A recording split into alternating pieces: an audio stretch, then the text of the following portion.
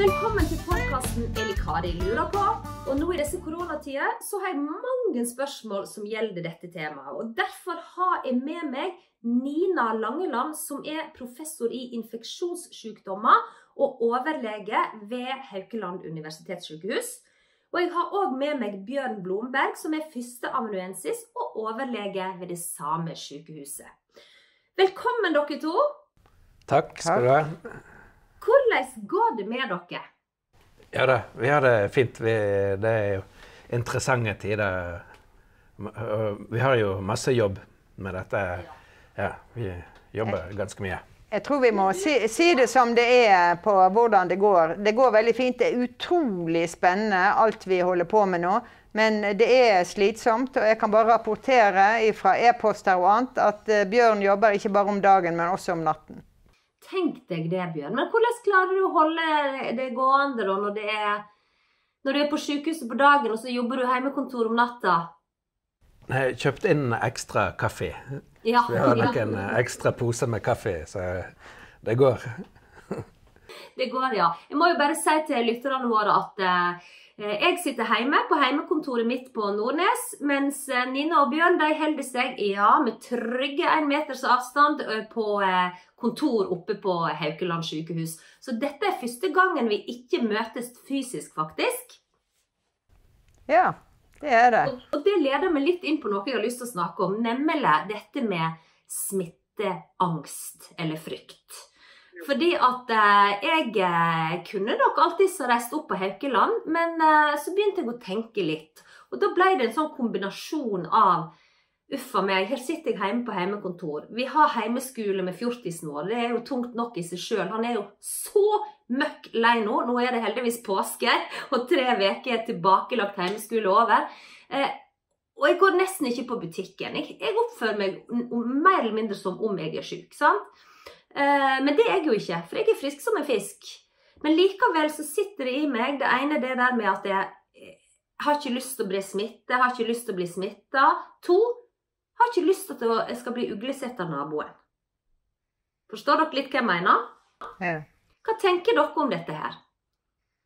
Ja, eh, jeg tenker at jeg, eh, med all erfaring fra utbrudd tidligere, og særlig eh, epidemier og pandemier av, eh, av luftveisinfeksjoner som vi kan hoste på hverandre, og vi kan ta på noe, og så blir vi smittet av noe, det sitter utrolig dypt i oss. Jeg har fått stor respekt for den angsten som alle får, og noen mer enn andre, for å bli smittet eller å smitte andre. Eh, og, og vi mister litt av det fornuftige, rasjonelle i oss, og så tar angsten litt overhånd. Eh, det gjelder veldig mange, og jeg, jeg, tror det er noe sunt i det. Det er klart at det hjelper å ikke være i nærheten av hverandre man, eh, for å unngå at smitte skal spre seg. Men det bikker av og til over i at det er ikke fornuftig verken på kort eller lang sikt måten vi er redde på. Eh, men eh, jeg har stor respekt for fenomenet på en måte. For det ser vi med alle denne type epidemier. Ja, nei, jeg er enig i det, altså. Og for noen år siden da var jo jeg litt involvert i dette ebola-utbruddet i Vest-Afrika. Jeg var med i den gruppa som jobber med å sende folk ned der. Og, og her i går når jeg var, var, nede på intensiv, da traff jeg en av de sykepleierne som jobber i, i denne ebola-behandlingssenteret under, under, det store utbruddet. Ja. Eh, og en fantastisk flink sykepleier. Eh, og, og, hun fortalte nå når dette kom opp eh, med eh, korona og det kom til landet, så eh, fikk hun tilbake den samme følelsen som hun hadde når hun jobba i ebola-behandlingssenteret. Og tenkte at OK, nå, nå, får vi tenke på denne måten her igjen. Mm. Men, men der, der, og, der, var det jo sånn at de, de hadde jo i mange uker om gangen så hadde de ikke lov til å ha eh, kontakt i det hele tatt med folk. Så ikke håndhilsing, ingen klemming, ikke med noen. Ikke engang de aller beste, nærmeste kollegaene der. Mm. Så eh, jeg, jeg, husker jo når de når de kom tilbake, de første som hadde vært nede eh, der, når de kom tilbake på, på eh, Gardermoen, og vi tok imot dem, så tok vi litt sånn demonstrativt og tok dem i hånda for å hilse. Og da, ble de jo helt perplekse, og de ville, ville ikke hilse. Så det er en veldig sterk sånn der modus der når du går inn i, i den måten å tenke smitte på. Mm. Så hele, ja, hele systemet reagerer på en litt annen måte. Og, og, nå har vi litt av det samme, selv om dette er jo en mye mindre farlig sykdom. Da, men, men, det er litt av den samme følelsen som kommer igjen for de som har vært med på ebolaarbeid. Mm. Men, men, jeg tenker litt på For det, det på en måte foregår en ja, Kall det en slags forvirring da, når det kommer til hva myndighetene anbefaler, og, og, hva som på en måte er lovpålagt eller restriksjoner. Eh, vi har jo andre land i Europa som rett og slett har portforbud, og i Spania så kjører det tankser rundt omkring i gatene for å passe på dette her. Eh, klarer dere å rydde litt opp i hva er det vi egentlig har lov til og ikke lov til nå? Ja, det, det er jo veldig viktig tenker jeg, at vi tenker rasjonelt oppi dette. Denne, på en måte så er den smittefrykten den er jo veldig eh, bra. Det er jo en superinstinkt, egentlig, fordi det kan hjelpe oss å, å, gå klar av farlig smitte. Men hvis det tar overhånd, så eh, virker det mot sin hensikt. Og det kan jo, for oss som samfunn, hvis vi ser sånn helhetlig på det, så kan det jo være direkte skadelig. Hvis vi hadde gått ut og sagt til folk at OK, nå må alle sammen bruke munnbind, f.eks. Når dere går ut i byen, i tilfelle dere kommer i, takt, i kontakt med noen som smitter. Da, det som hadde skjedd, da hadde vært at vi hadde vært tom for munnbind på uh, et par dager. Og så hadde det vært stor krise for sykehusene og de som virkelig trenger det. Uh, sånn at vi må, vi må, tenke oss veldig nøye om, og så må vi være uh, rasjonelle i de anbefalingene vi gjør. Og, og der, der syns jeg eh, jo, jeg må si myndighetene har vært flinke å gi gode råd her i Norge. Mm. Det, er jo, det, er jo, nesten umulig å vite hva som er for mye og hva som er for lite tiltak. Eh, du kan jo se på Sverige har gjort mindre tiltak, og Norge har gjort mer. Og akkurat den, det, denne epidemien, denne pandemien, den har ikke vi vært ute for før. Så vi vet ikke nøyaktig før seinere hvor smittsom den er. Eh, og derfor er det veldig vanskelig å si hvor mange tiltak som er nødvendig å gjøre.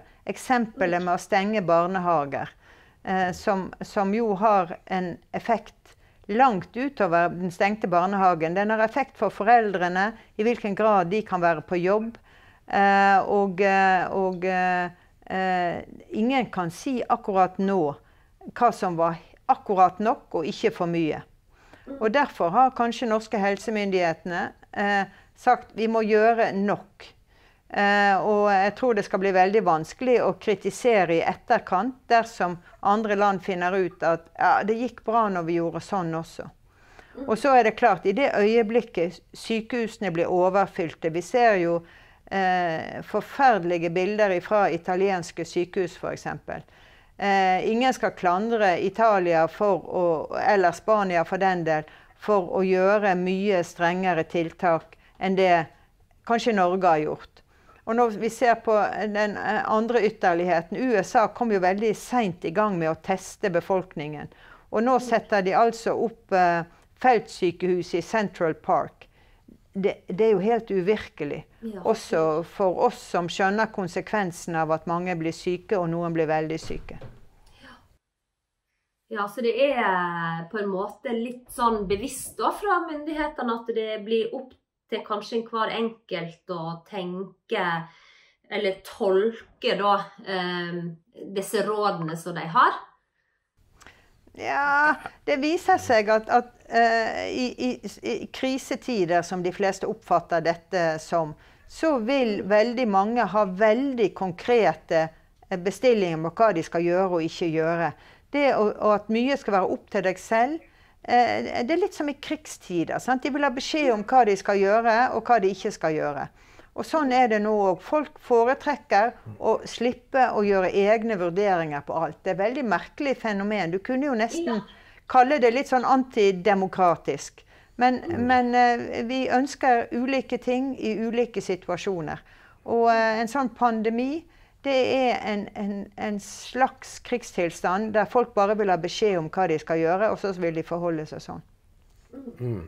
Ja, det eh, Vi så jo på TV i går kveld at hun, Erna Solberg hun, sa, hun hadde aldri opplevd å ha så stor støtte for noe tiltak som de tiltakene har nå. Og til og med hyttefolket som blir ramma av dette hytteforbudet, der var det, var det 86% som mente at det var helt riktig avgjørelse. Så det, det er jo uh, utrolig spennende. Kanskje det er litt av det som Nina sier, at når det er en krise, da vil vi ha de riktige rådene, og så følger folk det. Men samtidig så syns jeg òg det er et aspekt av dette at vi eh, står sammen. Så alle tenker litt sånn solidaritet der. Og, og de fleste nå har jo skjønt at hvis vi holder uh, smitten nede, så vil det beskytte våre altså besteforeldregenerasjon og de litt eldre og de som er litt svakere i samfunnet. Og, og folk slutter opp om det så det suser. Mm, ja, det er helt fantastisk. Jeg virkelig personlig må jo si at jeg er kjempestolt over folk. Og hvordan folk, når du går på fortauet, så går de en meter bort, og det er liksom ja, det er litt sånn som du sier, Nina, at en gjerdesønn får beskjed om. Når det er krise, så er det noen som bestemmer og leder, og da gjør stort sett nesten alle det de får beskjed om. Jeg, jeg, hørte en presentasjon i dag morges fra dette medborgerpanelet på Universitetet i Bergen. der en, De har 12 000 cirka personer fra alle aldre og deler av landet. Og, og deres holdninger, hvordan de har vært endret. Altså tilliten til styresmakter, den har økt.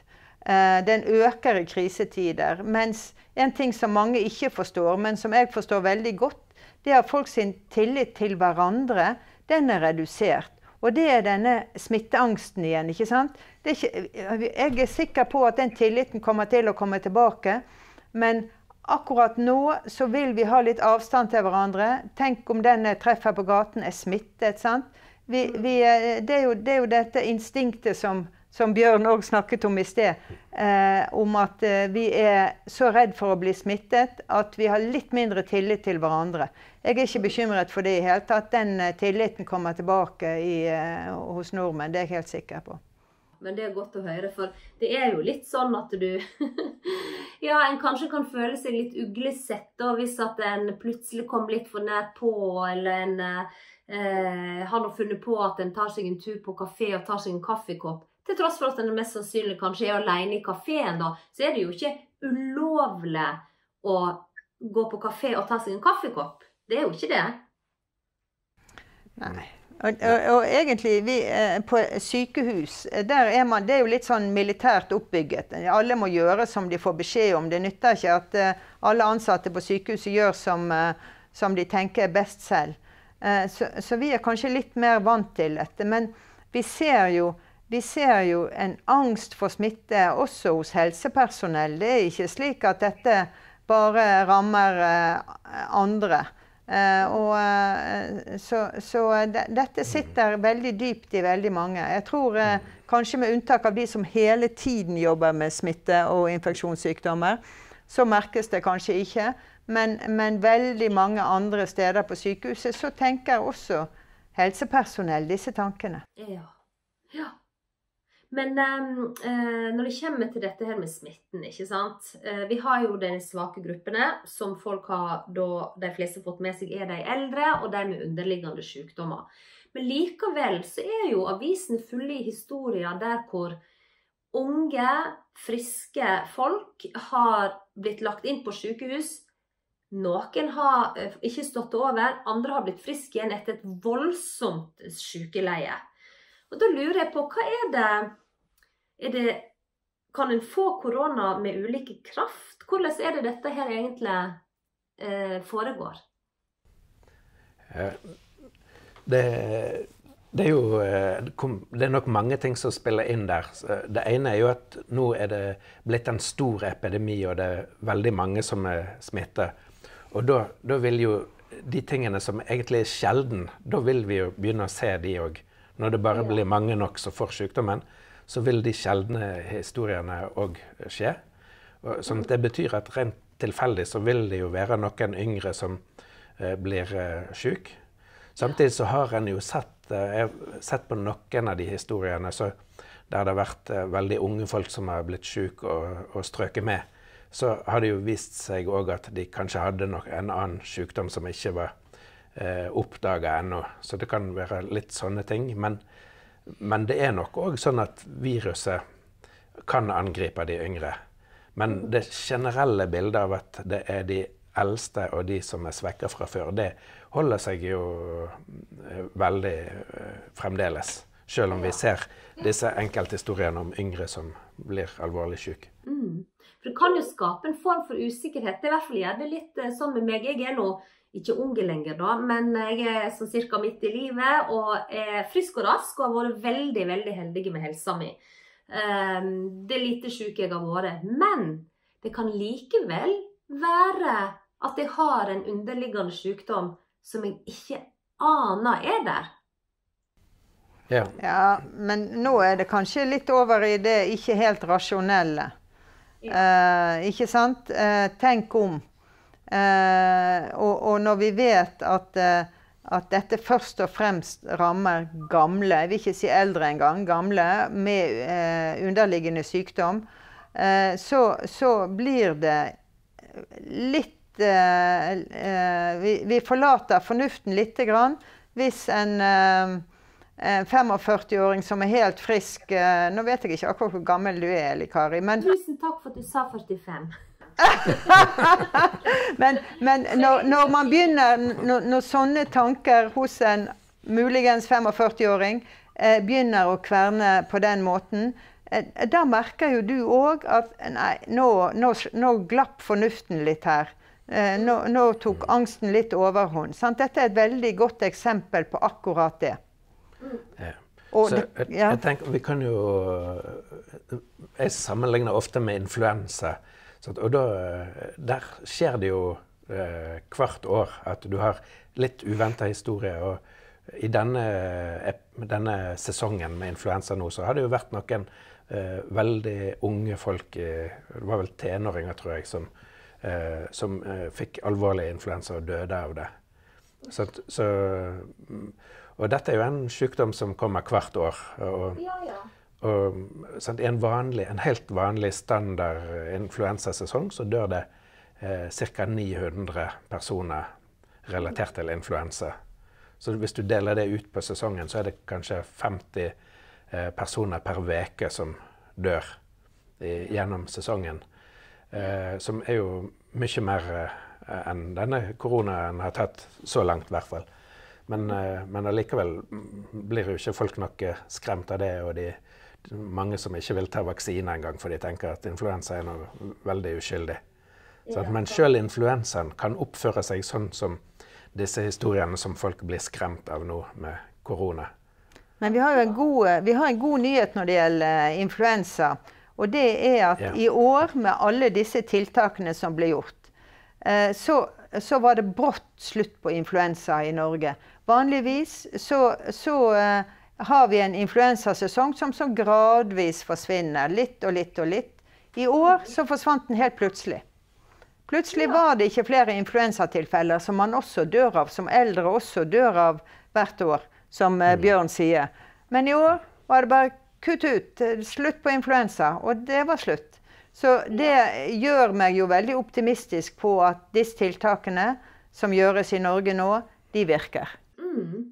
For det, det eh, håper jeg bærer meg inn i ny, et nytt spørsmål, og det er disse kurvene som alle avisene har. sant? De, de har jo disse kurvene hvor så mange er smitta, så mange er innlagt, så mange ligger i respirator, så mange er døde.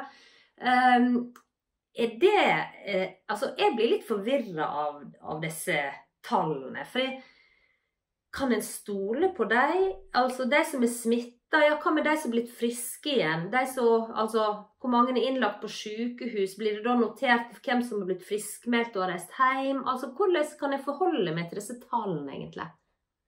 Jeg tror de er først og fremst egnet til at folk blir redde. Uh, vi får aldri, I en vanlig influensasesong så kommer det aldri daglige statistikker over uh, hvor mange som er døde, uh, og hvor mange som er innlagt på sykehus rundt i landet. Mm. Dette, er, dette, gjøres nå, og jeg tror at vi blir mer redd av det.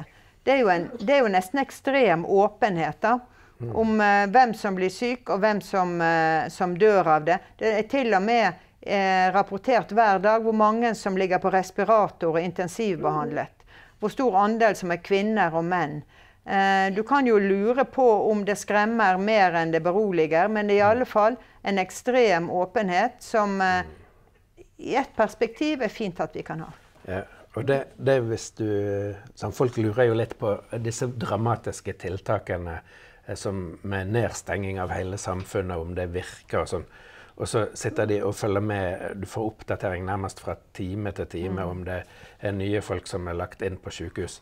Uh, mens det tiltaket det vil jo ta egentlig lang tid å virke.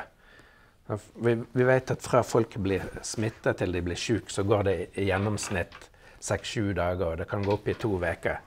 Uh, så det betyr at når, når en setter inn det tiltaket, så det vil jo ikke ha noen virkning på de som allerede er smitta. Så det betyr at det vil nå i hvert fall gå både én og to uker før du kan se noe som helst effekt av det.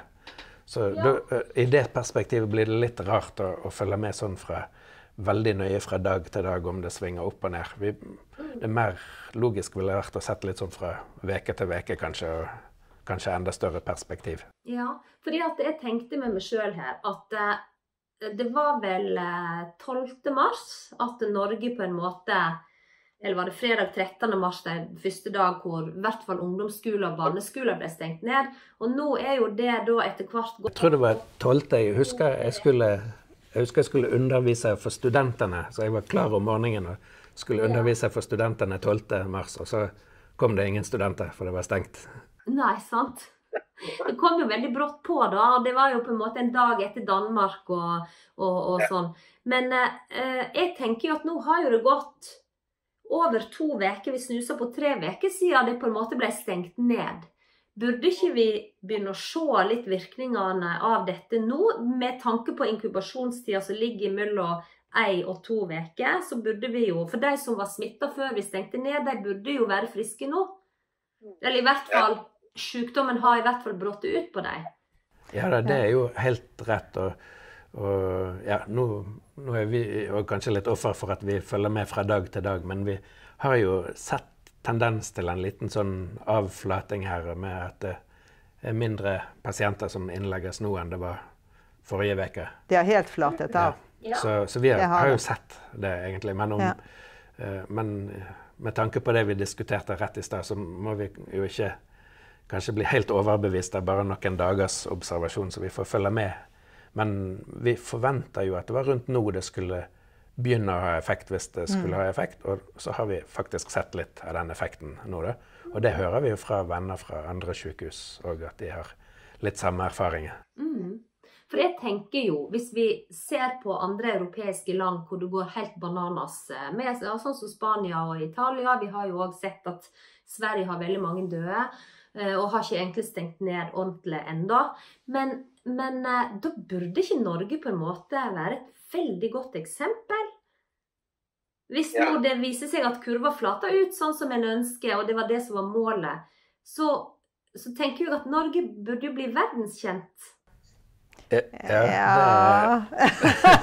Det, er mange sider. Jeg tenker vi kan, Der vi har best oversikt nå, det er i Kina. Og, og hvis mm. du ser på Kina utenfor denne Hubei-provinsen der denne Wuhan-byen ligger Hvis du ser på resten av Kina, så eh, er det for lengst helt flatt. Det er knapt noen nye tilfeller. Det er knapt noen som dør. Eh, dødelighet, hvis man begynner å snakke om det, er under 1 eh, og, og Hubei-provinsen, der oppsto det. Man ante ikke hva man hadde med å gjøre. Der tok det en tid før helsevesenet klarte å håndtere alle de syke. Resten av Kina helt fantastisk. Og i Europa så vet jeg ikke Tyskland eh, og Sveits tror jeg du mm. pleier å nevne som eksempler. Ja. Ja, som er nær er jo, Italia. ja, det er jo veldig interessant. Tyskland og Italia, to store land rett ved siden av hverandre. Det ene landet rapporterer 10% av våre pasienter dør. Og i Tyskland er det vel fremdeles under 1 mm. De var jo på en halv prosent lenger. Mm. Sånn så det er 10-20 ganger forskjell i dødeligheten. Og det, det, har jo flere forklaringer, men en av de er den, denne kurven som du snakker om.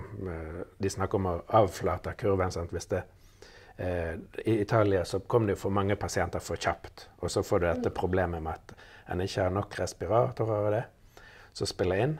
Eh, det andre er at når du har så mange syke pasienter, så har du ikke tid til å drive og teste rundt omkring eh, de som har lette symptomer. Sånn at de, kanskje de har 50 eller 100 ganger flere pasienter enn de egentlig har diagnostisert. Mm. Um, og så, så, I tillegg så Vi har diskutert litt om dette med sånn familiestruktur og sånt uh, i den middelhavskulturen i forhold til Nord-Europa.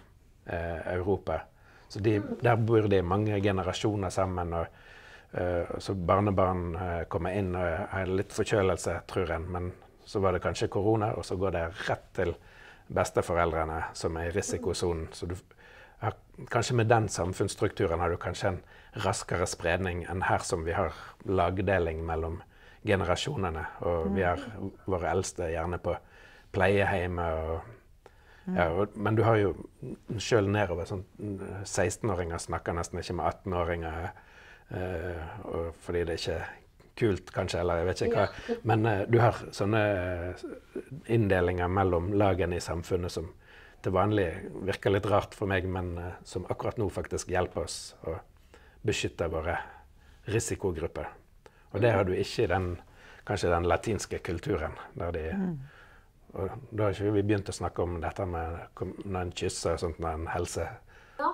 Og det har jeg tenkt på, at det må jo være De kysser jo hverandre to-tre ganger på hver kinn. og Det er sånn de hilser på hverandre. Det er jo klart at det må jo florere med dråpesmitte da, tenker jeg. At kanskje det kan jo være en grunn. Ja. Jeg tror det er mange faktorer her ja. ute og går. Men det er klart til vanlig når du ikke har korona, så er det jo veldig kjekt å leve sånn. og Litt eh, sosialt liv og litt kontakt med folk og sånn. Så så 99% av tida er det jo det der bare positivt. Men akkurat nå får de en liten smell, da. Ja, mens vi som er litt mer iskalde og ikke fullt så varmblodige av oss, vi klarer å holde viruset litt mer på avstand, kanskje, da. I ja. måten vi lever på, da. Men um, jeg har jo litt lyst å spørre dere Hvordan ser dere liksom veien videre? Hvor lenge tror dere hvis det hele tatt går an å svare på det, at vi skal være et nedstengt samfunn. og Hva tanker har dere om dette? Ja, det, eh, det, er jo det vi òg har diskutert litt om eh, i forhold, hvis vi, eh, Kanskje en ting som ikke ligner så mye på influensa, er jo at når det gjelder korona, så har vi ikke denne immuniteten i befolkningen. Med influensa er det jo litt sånn Folk er i hvert fall Det er et virus en treffer på hvert år, og folk har litt sånn grunnbeskyttelse, og det er mange som er vaksinert. Men her har du et virus som eh, ingen i befolkningen er beskyttet mot. Så, så de, og da kommer vi tilbake til den spredningen med den R-en eh, som det har vært mye snakk om. Uh, så hvis R-en er to, at én person smitter til to andre, og de, smitter hver til to, så får du fire, og så får du åtte, og så får du sånn eksponentiell smitte. Uh, og, og, mm, så der er det en balanse da, i forhold til hvor lav en kan få den R-en, og hvor mange som blir, eh, må smittes i samfunnet før, før, du får en balanse der mange nok er immun mot sykdommen, til at det stopper. Og der, eh, med, med, influensa er det vel sånn at der, en, eh, der er det den R-en 1,3 ca. Så da kan du, hvis en fjerdedel av befolkningen blir smittet, så vil det mer eller mindre stoppe opp. Men det varierer litt fra år til år. Mens, ja. mens med korona, hvis den er to, og kanskje litt over to, så må kanskje opp i 50-60% av befolkningen bli smittet før det vil stoppe opp. Så, og da er det jo veldig interessant når du sammenligner den eh, strategien som svenskene har. Der de tenker OK, vi er litt eh, sånn Hakuna Matata, eller la folk smitte hverandre. Og så håper vi at vi da får bygd opp immuniteten i, eh, i befolkningen, og så kanskje dette stopper. Mens vi har vært helt på motsatt side og bare slått totalt ned. Og så får vi kanskje veldig lite smitte. Men da ulempen med det kunne være at det tar lengre tid å bygge opp den motstandskraften i befolkningen til å stoppe viruset. Og det der er jo for tidlig å, å si hva som er rett. Så jeg tror det er vel ingen av oss som kan si at svenskene har tatt feil ennå. Altså, jeg tror det korte svaret er at vi vet ikke. Ja, men, vi, men, men jeg syns det er veldig gøy å spekulere. men vi forsker på det. Vi forsker på det for å se hvor mange som lager antistoffer. Så det er blant de tingene vi holder på med akkurat nå. Det er å se hvor stor andel av uh, helsepersonell for eksempel, som har vært utsatt for smitte. Vi kommer til å se på blodgivere. Uh, de som gir blod i mai. For an antistofftestene, de som vi har forsøkt oss på nå, de er veldig gode. Og da vil vi kunne svare på det, hvor stor andel av befolkningen som har vært smittet og er beskyttet. For hvis du har vært smittet og ikke får symptomer, så teller man liksom ikke med. Man blir ikke testet, f.eks. Så dette kommer vi til å ha svar på, men kortversjonen er vi vet ikke. Søren òg. Jeg hadde håpet at dere skulle svare meg på dette. Jeg er jo så spent på det. Men det var kjekt å høre at det går bra med forskninga. For på forrige podkast, Nina og Bjørn, så fortalte jo du med stolthet at dere hadde fått eh, midler til å begynne å forske på antistoffer. Så nå er dere godt i gang med det, altså? Vi er det. Vi er det. Vi har uh, samlet inn prøver og skal få nye prøver nå i løpet av den neste måneden. Vi er veldig spent på hva vi finner. Ja, Guri malla, ja, det blir veldig spennende. Og fremdeles er det sånn at jeg har jo hørt rykte om via media da, at Eh, de driver og utvikler noe medisin som kanskje kan være klart innen et halvt års tid. Er dette noe dere har tro på? Vi er iallfall med på å gjøre mm. studiene. Ja, ja men da, da, er det jo dere de tryggeste å spørre.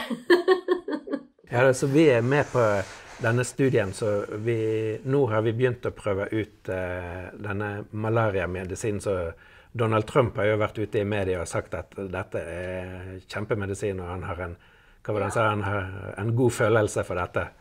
Men sannheten er jo medisinsk sett så har vi ikke grunnlag for å, å vite om den virker eller ikke. Det er, masse, det er masse interessante teorier og laboratorieforsøk som gjør at vi tror den kan virke.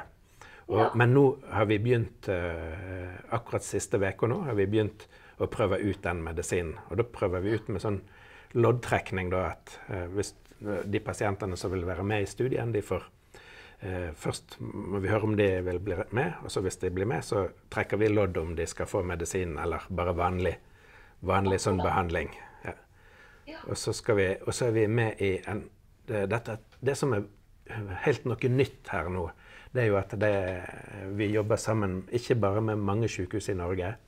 Eh, nå hørte vi i dag at det er til sammen 29 sykehus i Norge som er med eh, i studien, og alle sammen samler inn pasienter.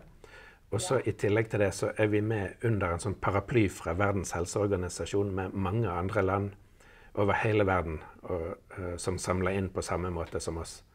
Så det, det unike med det er at vi kan i løpet av veldig kort tid så får vi inn masse pasientdata på behandlingseffekt eh, inn til Verdens helseorganisasjon.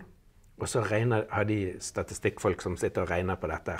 Eh, og, og, og da kan de på rekordtid finne ut om noe virker, eller om det ikke virker, eller om det er skadelig. Sant? Det kan jo hende at det faktisk virker negativt òg. Men det, dette er første gangen jeg vet om at vi prøver medisiner på en sånn stor skala i et utbrudd. Det er helt, helt unik struktur. Og, så, og veldig spennende å bli, være med på dette. Ja. ja, det skjønner jeg veldig godt. Absolutt. Nei, men det blir moro, det. Og så følge med på eh, Nå vet jo hvem jeg skal jeg skal ta kontakt med for å høre hvordan, hvordan ligger vi an med denne medisinen og vaksiner osv. Dere må jo bare jobbe på, eh, sånn at en klarer å finne en løsning på dette her ganske raskt. da. Mm.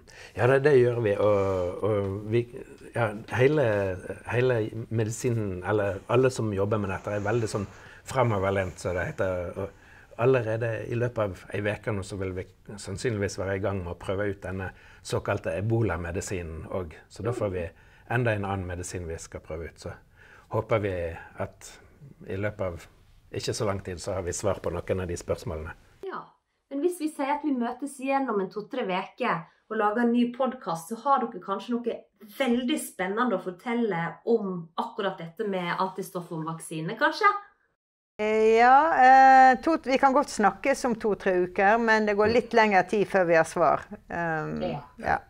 Men nå må vi tilbake og eh, jobbe og forske. Ja, det er akkurat det dere må. Og vet dere, da bare sier jeg tusen takk for at dere ville bruke tid, dyrebar tid, som dere ellers eh, hadde brukt kanskje på både forskning og du, Bjørn, kanskje sove litt, eller som jobber dag og natt. Så sier jeg bare masse lykke til. Hold dere friske, stå på med forskninga, og så gleder jeg meg til å treffe dere igjen om noen uker. Ja. Det gjør vi òg. Tusen takk, og samme til deg. Ja.